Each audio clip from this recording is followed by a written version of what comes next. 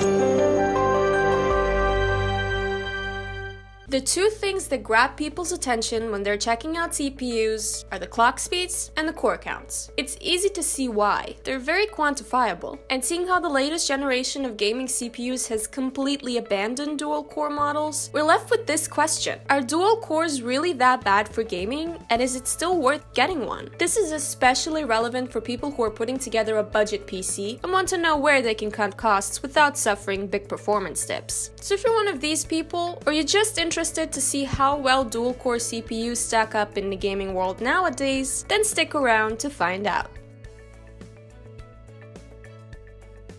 First things first, let's go over some of the things that you should keep in mind when getting any CPU. We feel that we have to say this because people usually tend to either overestimate or underestimate the importance of a CPU in gaming PCs. And just like you wouldn't build a house starting from the roof, the CPU isn't the first thing to consider when building a gaming rig. It's the GPU that has been and always will be the most important piece of hardware for gaming, so it's best to pick a CPU after you've already decided on a graphics card. This way, you can make sure it's powerful enough to push the GPU to its maximum potential. So we have to ask ourselves, can dual-core processors still do this? Can they bring out the full potential of your GPU for gaming, despite the fact that newer games are optimized to exploit the higher core and thread counts of modern CPUs as much as possible? To answer this, we have to take a look at the selection of dual-core CPUs that we can work with. After all, there are many different types of dual-core processors that you can buy, but for this list, we'll stick to the ones that you can still buy new. The first of these is the AMD A series of processors. These come with integrated graphics and they're most commonly found in laptops and non-gaming PCs. This is their niche, and rightly so, as they're very ill-suited for gaming. Even the most powerful A-series processor will bottleneck a GTX 1050, so not only will they hinder the performance of any newer GPU, but they'll also produce large amounts of heat whenever you're gaming. Combine this with the fact that they still use the outdated FM2 socket, and it becomes clear that these processors shouldn't even be used as short-term solutions for for gaming. Next we have Intel Celeron, and this is where the situation starts to get a lot brighter. These processors are very similar to the AMD A series in almost every regard, from price and performance all the way to their target demographic. But what makes them stand out is the fact that they use the LGA 1151 socket, which is still in use even with the latest gen Intel processors. This makes Celeron a very good short-term solution, as it still leaves you with the possibility for future upgrades on the same motherboard. You just have to make sure that the chipset is compatible as well.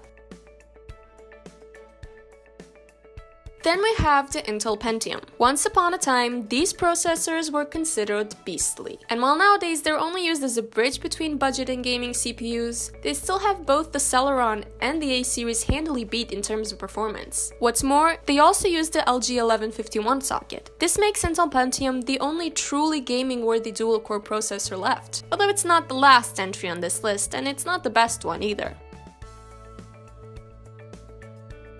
So what's the catch? We've just said that the Pentium CPUs are the best dual-core CPUs left, so what gives? Well, the thing that makes 7th generation of i3 CPUs so special is that they aren't true dual cores. Instead, they use hyperthreading technology to make each physical core function as two logical cores, meaning that these processors essentially function as quad cores. Intel had to abandon this approach with their 8th gen i3 processors in order to keep up with AMD's new Ryzen series, but these i3s were still truly something. They're easily the best processors on this list, and they use the LGA 1151 socket, so you're still free to upgrade upgrade to a better CPU later. But there's a catch. Their prices never really went down. So while yes, you won't find a better dual-core CPU out there, they cost almost as much as a new 8th gen i3 CPUs, and these are real quad cores. The only reason you should ever buy a 7th gen i3 over an 8th gen i3 is if you find them at a hefty discount or secondhand. And speaking of secondhand, there are a couple of things we want to say about this, so let's just roll the title.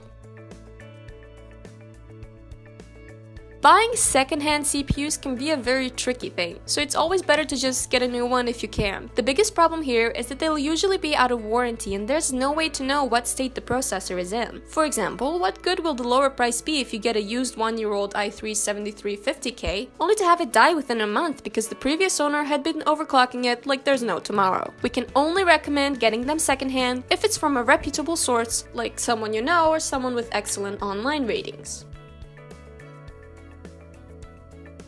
So is using a dual-core CPU still worth it for gaming? Unfortunately, we have to say no, at least in the majority of cases. They're still more than good enough for non-gamers, but Current dual-core processors will only end up bottlenecking your GPU to varying extents, and it's only going to get worse from here on out. The only situations where we would suggest getting a dual-core CPU are either if you're only planning to get it as a temporary solution, or if you just can't afford anything more expensive. We'd suggest getting a Celeron if you're planning to upgrade soon anyway. It's the cheapest option that'll still leave you with room for improvement, and it should still allow beefier GPUs to run, just not as well as they could. On the other hand, if you're buying a dual core that that you plan on using for a while, then it's probably better to opt for a Pentium for better performance. But you should definitely stick with Intel here, even if you can only afford a Celeron. The A series will run much hotter while giving you similar performance, and it will completely cut off your upgrade potential. So what do you think? Do you agree with us? Or do you think dual-core CPUs still have some life in them for gaming? We'd love to hear your thoughts in the comments below, and we really hope this video helped you if you were stuck in this dilemma. If so, don't forget to like and subscribe, and we'll see you in the next video.